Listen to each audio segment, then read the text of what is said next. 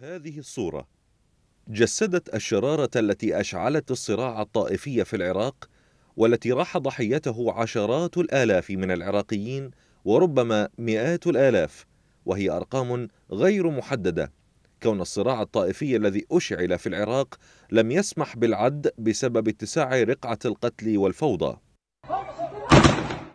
إلا أن السؤال الذي طرحه كثيرون وأغمض البعض أعينهم عن جوابه هو من وقف وراء ذلك التفجير الذي أحرق العراق؟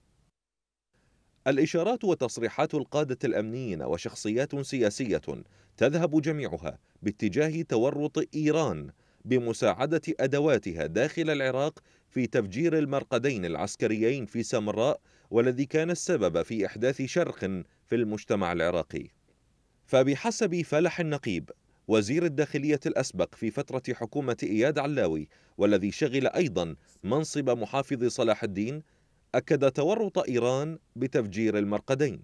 فجر المرقد يعني إيران تتحمل مسؤولية تفجير المرقدين بالتأكيد أنا يعني ما عندي شك يعني بالموضوع هذا. من أجل آه، إشعال الفتنة الطائفية كما حدث؟ هسه هم هم حجتهم إنه هذا الإمام الاسير كإيرانيين في وقتها. بس طبعا هي يشعل فتنة يعني. بالوقت بالوقت كما وصرح اللواء السابق غازي عزيزة والذي شغل منصب مستشار وزير الداخلية في عام 2006 أن إيران كانت متورطة بإشعال الفتنة الطائفية في العراق عن طريق التفجيرات وأهمها مرقد الإمامين. كانت هناك عمليات موجهة من دول إقليمية وهي إيران آه، لإثارة النزعة الطائفية بين السنة والشيعة. التأكيدات على تورط إيران لم تتوقف عند هذا الحد بل جاءت من حلفائها. إذ أكد النائب عن التيار الصدري عواد العوادي في لقاء تلفزيوني أن هناك تقارير تشير إلى تورط إيران بإدخال مجاميع إرهابية إلى العراق كانت سببا بتفجير المرقدين في سامراء. يعني بمعنى إنه اللي صار مثلا اللي صار في في سامراء كثير من التقارير يتهم بأنه أكو مصالح أكو خلايا أو مجاميع إرهابية دخلت من إيران. كما وأكد مستشار الأمن القومي السابق موفق الربيعي في لقاء عبر قناة العراقية الحكومية.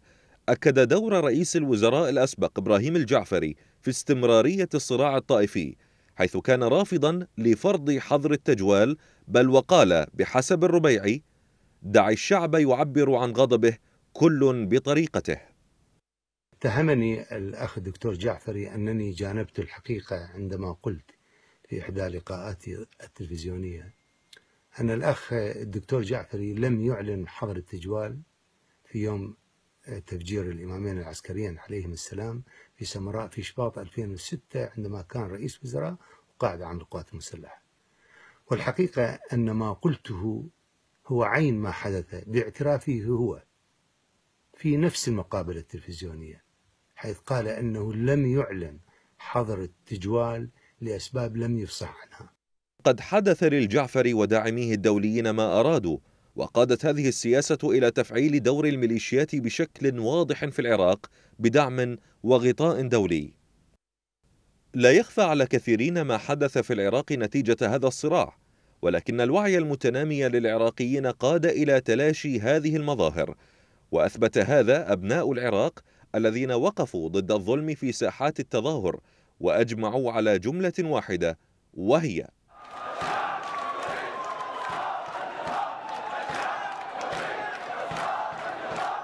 بعد كل ما قيل سابقا بشأن أسباب الصراع الطائفي ونتائجه تغيب العدالة عن التحقق.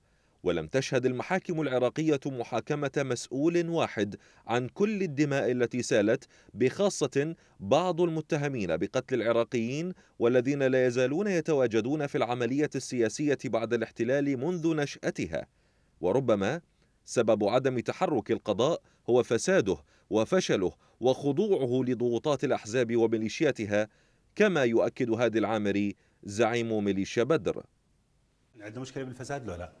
عندنا مشكلة. مسؤول عن القضاء لو لا؟ لا لا شوف أقول لك إياها. مو مو القضاء مسؤول عنها. أنا أنا شوف لك إياها. إحنا حمينا. إحنا ككتل سياسية. أكو يقدر واحد يحكي واحد؟ والقضاء كنا نروح نهدده. ها، إذا القضاء كان يتهدد. نعم أنا أقول لك كان يتهدد. أنا خضع للتهديد. ها؟ خضع للتهديد. ما أقول اليوم ابن أمه ما يخضع للتهديد. أنا أقول لك يعني إذا تريد أنا بيني وبين الله الإنسان يجب أن يتحدث اللي عليه مو عليه القضاء نضغط عليه نسوي كذا تعال ما أدري شنو. موضوع الفساد اللي. وين صارت معاملات راحت إلى الفساد؟ بس تروح معاملة الفساد ونبدي. لا ما أدري شنو بها توازن. هذا نعني به إنه ضرب ال- الكتلة الفلانية هذا معناه ضرب الاكراد هذا معناه ضرب السنة هذا معناه ضرب ال- ال- الصدريين هذا ضرب معناه المجلس الأعلى. وجينا عشنا. هاي التوازنات السياسية هي هاي تتحمل مسؤولية الأخطاء الماضية. كلنا نتحمل. الآن وبعد أن علم العراقيون من الذي حرك الأدوات لضرب المجتمع العراقي الواحد ألم يحن الوقت لتأكيد الوحدة الوطنية والوقوف بوجه حكومات الاحتلال وأحزابها؟ يتساءل عراقي.